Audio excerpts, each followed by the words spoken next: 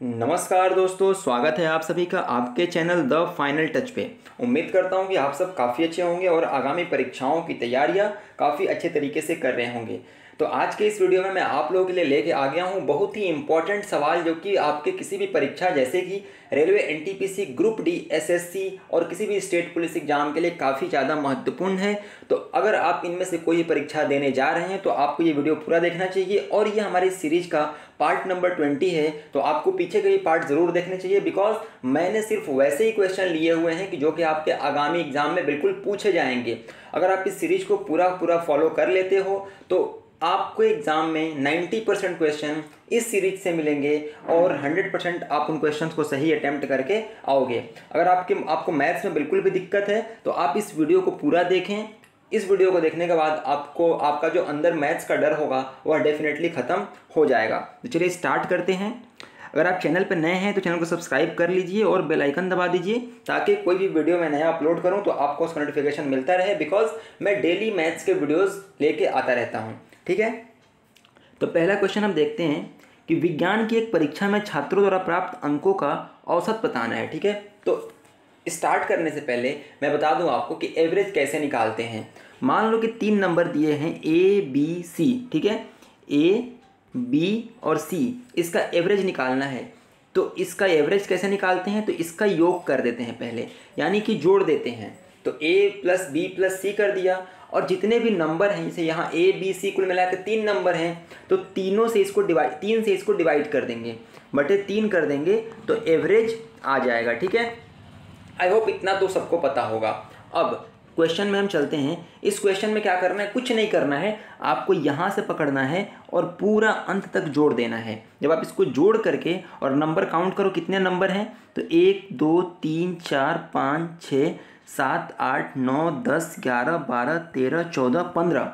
पंद्रह संख्याएँ हैं, उसको पंद्रह से डिवाइड कर देना है, ठीक है? तो अगर मैं इसको जोड़ूँगा तो एक, नौ, दस दस दो बारह बारह, आठ, बीस बीस चार, चौबीस दो, छब्बीस छः बत्तीस बत्तीस दो, चौंतीस चौंतीस छः चालीस दो, बयालीस बयालीस, आठ, पचास पचास दो, बावन। बावन का दो, हासिल पाँच। और पाँच पाँच, दस छः सोलह नौ पच्चीस चार उनतीस चार तैंतीस तैंतीस नौ बयालीस बयालीस चार छियालीस छियालीस और पाँच इक्यावन चार पचपन पचपन छः इकसठ इकसठ पाँच छाछठ छाछठ चार सत्तर पाँच पचहत्तर पचहत्तर तीन अठहत्तर और अठहत्तर और चार कितना होगा बयासी ठीक है तो यहाँ पे आप एटी टू लिख दोगे अब कुछ नहीं करना है आपको सिंपल इसको डिवाइड कर देना यानी भाग दे देना है तो मैं भाग दे के बता देता हूँ आपको पंद्रह आठ सौ बाईस, ठीक है? इसको आप डिवाइड करोगे तो पंद्रह पचे पचहत्तर होगा। पंद्रह पचे पचहत्तर। बारह में से पाँच गया, सात। यहाँ कैंसिल आउट हो जाएगा। यहाँ लेंगे टू तो कितने बार में जाएगा? पंद्रह चौके साठ, ठीक है? यहाँ साठ हो गया दो, ये कैंसिल आउट हो जाएगा। अब यहाँ पे अगर दशमलव लगाओगे तो यहाँ पे क्या आ जाएगा? यहाँ पे अगर आप दशम, देखो पंद्रह पचे पचहत्तर, बारह में से पाँच के सात आ गया, यहाँ पे फिर टू आ जाएगा। पंद्रह चौके साठ, ठीक है? तो यहाँ वन होगा। ये पूरा पूरा कैंसिल आउट नहीं होगा। यहाँ पे वन है, ठीक है?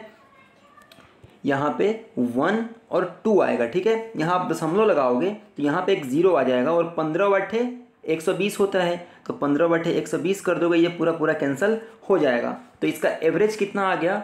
चौवन दशमलव आठ, ठीक है? तो आपको सिंपली बस इसको जोड़ देना है, जोड़ के पंद्रह से डिवाइड कर देना है तो आपका आंसर आ जाएगा चौवन दशमलव आठ, जो कि हमारा ऑप्शन कौन सा है? ऑप्शन नंबर ए में दिया गया है, चौवन दशमलव आठ। तो उम्मीद करता हूँ कि एवरेज निकालने में आपको कोई भी दिक्कत नहीं आएगी, इसको बस जोड़ के और जितने नंबर हैं उसे डिवाइड कर देना है।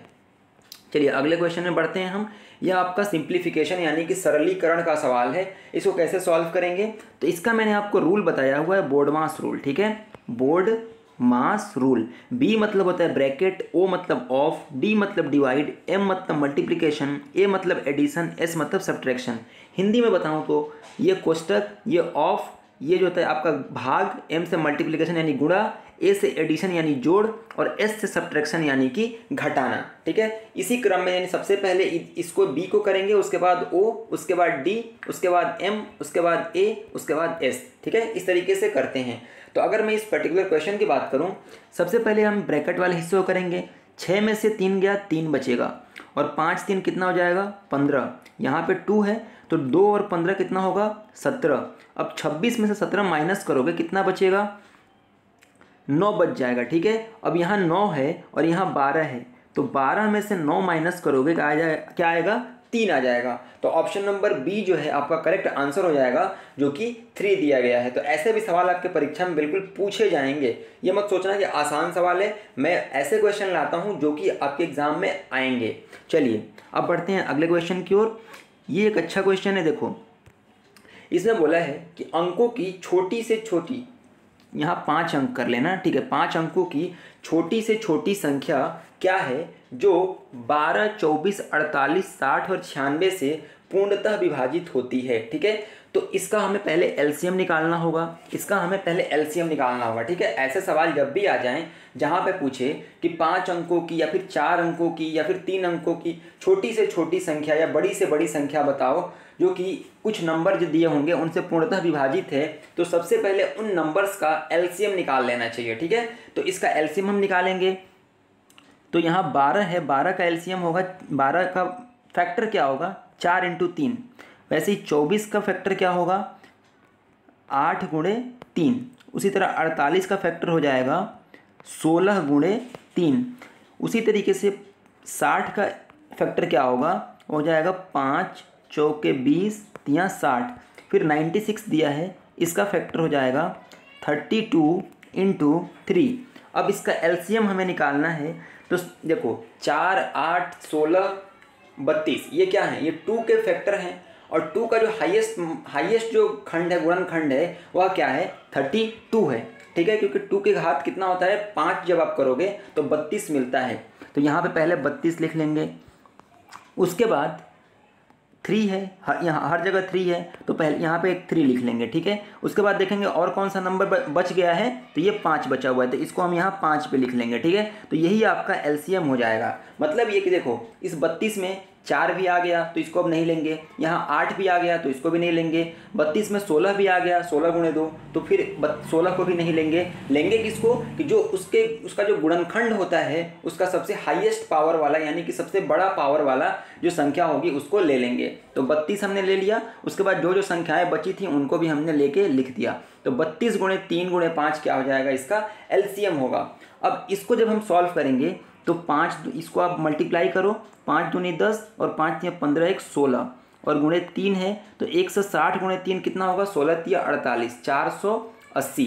तो चार सौ अस्सी तो एलसीएम आ गया। अब हम आंसर तक पहुँचेंगे, देखो कैसे।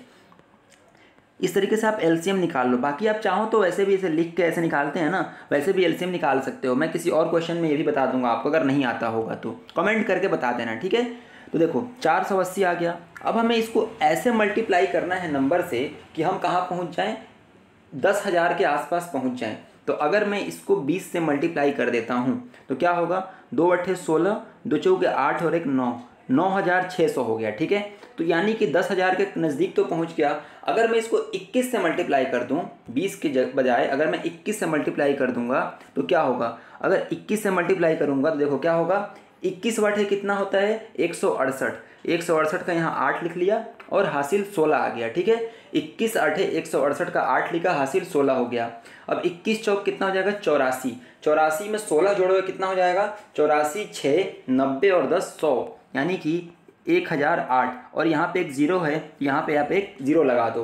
तो आपका ऑप्शन नंबर कौन सा मैच कर रहा है? ऑप्शन नंबर डी मैच कर रहा है, जो कि सौ और अस्सी, यानी कि दस हज़ार अस्सी जो होगा, वह संख्या होगी पाँच अंकों की, जो इन सबसे क्या है? पूर्णतः विभाजित है, ठीक है?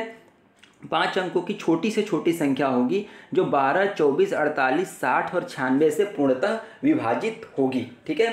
तो इसमें कुछ भी नहीं करते हैं। उम्मीद करता हूँ आपको समझ में आया होगा। सिर्फ़ क्या करेंगे कि इन चारों का एलसीएम लेंगे और जो एलसीएम आएगा, उसको इस तरीके से मल्टीप्लाई करेंगे कि इन नंबर के आसपास पहुँच जाए और फिर वहाँ पे हम इसको देख लेंगे कि कौन सा नंबर जो है मैच कर रहा है। ठीक है? चलिए, अब आगे बढ़ते हैं अगले क्वेश्चन की दौर ऐसा क्वेश्चन मैंने पहले भी कराया हुआ है, आपके रिवीजन के लिए मैंने रखा हुआ ये क्वेश्चन आप इसको एक बार पॉज करके इसका आंसर कमेंट बॉक्स में मुझे बताएँ। ठीक है? चलिए क्वेश्चन देखते हैं। जय और जोए की आयु का अनुपात फाइव इस टू टू है। उनकी आयु का योग तिरसठ है। नौ वर्ष बाद उनकी आयु का अनुपात कितना होगा? देखो, जय और जोय की इनकी आयु का अनुपात फाइव इस टू टू है। तो पाँच, दो, सात जोड़ेंगे तो कितना होगा? नौ। सॉरी पाँच और दो जोड़ेंगे तो कितना होगा? सात होगा। और सात का मान कितना दिया है? तिरसठ यूनिट। तो एक यूनिट का मान कितना होगा? नौ हो जाएगा। यानी कि इनकी वर्तमान आयु कितनी है? तो पाँच गुणे नौ करोगे तो कितना होगा? पैंतालीस और दो गुणे पाँच करो नौ करोगे तो अट्ठारह यानी कि जय और जोय की वर्तमान आयु पैंतालीस और अट्ठारह वर्ष है। अब क्या बोला है कि नौ वर्ष बाद उनकी आयु का अनुपात क्या होगा? तो इसमें नौ जोड़ दो और यहाँ भी नौ जोड़ दो। पैंतालीस नौ, चौवन हो जाएगा। अट्ठारह नौ, सत्ताईस हो जाएगा। अब आपको पता है, सत्ताईस दुनी का चौवन होता है। तो यहाँ एक यहाँ पे दो, सत्ताईस दुनी इसको काटोगे तो सत्ताईस दुनी का चौवन। तो अनुपात जो होगा, दो सही, एक का अनुपात आएगा, जो कि ऑप्शन नंबर बी में दिया गया है। कुछ नहीं करना था इस सवाल में आपको। इसका योग देखो, उनके उनके संख्या, उनके आयु का योग दिया हुआ है five is to two five संबंध है दो। और जब पाँच संबंधित दो को आप जोड़ोगे तो सात होगा। और ये जो है उनके आयु का योग है, या उनके आयु के अनुपात का योग है। तो उनके आयु के अनुपात का योग, उनके आयु के योग से क्या होगा, हम उसको इक्वेट कर सकते हैं। तो क्या है, यहाँ पाँच संबंधे दो है तो ये मिल के सात बनाता है, और इसी का मान तो यहाँ सिक्सटी थ्री दिया है। तो सात का वैल्यू सिक्सटी थ्री है तो एक का वैल्यू क्या हो जाएगा, नौ हो जाएगा। उसके बाद यहाँ हम मल्टीप्लाई कर देंगे, नौ गुणे पाँच नौ गुणे दो। तो जय और जोय का आयु आ जाएगा, उसमें नौ जोड़ देंगे और उसके बाद दोनों के आयु में नौ जोड़ करके उसका अनुपात हम निकाल लेंगे, हमारा आंसर आ जाएगा। अब अगले क्वेश्चन की ओर देखते हैं क्या है। ये भी आपका सिंप्लीफिकेशन का ही सवाल है। देखो, सबसे पहले ब्रैकेट पार्ट को सॉल्व करेंगे तो minus four point six plus zero point six अगर आप इसको करोगे तो क्या आएगा? माइनस फोर आएगा। ठीक है? क्योंकि सिक्स से सिक्स कैंसिल हो जाएगा पॉइंट सिक्स से पॉइंट सिक्स और माइनस फोर बचेगा। ब्रैकेट में ही इसको रखो। डिवाइडेड बाई यहाँ पे क्या है? Minus four point six into minus four point six अब माइनस माइनस क्या होता है? जब भी माइनस गुणे माइनस हो तो वह प्लस हो जाता है। अगर माइनस गुणे प्लस हो तो क्या हो जाता है? वह माइनस हो जाता है। प्लस गुणे माइनस हो तो वह माइनस होता है और प्लस गुणे प्लस अगर होता है तो क्या होता है? प्लस होता है। तो आपको ध्यान रखना है, माइनस वाला संख्या, अगर माइनस वाले संख्या से गुणा किया जाता है तो वह प्लस हो जाता है। ठीक है? तो यहाँ पे क्या है? Minus four point six into minus four point six, ये क्या हो जाएगा? ये हो जाएगा plus four point six into four point six, ठीक है? Plus four point six into four point six, ये डिवाइडेड में हो जाएगा, ठीक है? अब यहाँ पे ब्रैकेट है और यहाँ डिवाइड, यानी भागा का चिन्ह है। तो four point six into four point six भागा चार लिख लेंगे और यहाँ माइनस का साइन लगा देंगे। क्यों? क्योंकि एक माइनस यहाँ पे बचा हुआ है, ठीक है? अब इसको आप सॉल्व करो तो क्या होगा? दो दूनी के चार और दो तेईस में छियालीस, यानी कि दो दशमलव तीन। फिर इसको दो से काटो तो ये भी क्या हो जाएगा? दो दशमलव तीन। यानी बच गया क्या? माइनस ऑफ़ दो दशमलव तीन गुणे दो दशमलव तीन, ठीक है? अब आपको, देखो, यहाँ पे मैं अच्छे से लिख देता हूँ। आपको क्या बचा है यहाँ पे? तो माइनस ऑफ़ दो दशमलव तीन गुणे दो दशमलव तीन। और यहाँ मतलब कि दो दशमलव तीन का स्क्वायर यानी तेईस का स्क्वायर और तेईस का स्क्वायर आप सबको पता है कि क्या होता है? Five twenty nine five twenty nine और यहाँ एक स्थान और यहाँ एक स्थान। यानी कि दशमलव अगर एक स्थान पे है और दो संख्याओं में दशमलव एक एक स्थान पे है और अगर उनका गुणा होता है तो दशमलव दो स्थान पे लगता है, ठीक है? दशमलव दो स्थान के बाद लग जाता है। तो यहाँ से आप काउंट करो, एक, दो। यानी कि यहाँ दशमलव लग जाएगा और यहाँ पे माइनस लगा दो। तो minus five point two nine आपका करेक्ट आंसर हो जाएगा, जो कि ऑप्शन नंबर ए में दिया गया है। तो इस तरीके से इस सवाल को सॉल्व करेंगे। काफ़ी अच्छा सवाल था और काफ़ी आसान सवाल था। उम्मीद करता हूँ आपको समझ में आया होगा। और अगर वीडियो अच्छा लगा हो तो वीडियो को लाइक कर देना, चैनल पर नए हो तो सब्सक्राइब कर लेना। मिलेंगे अगले वीडियो में, पढ़ते रहें, आगे बढ़ते रहें। जय हिंद।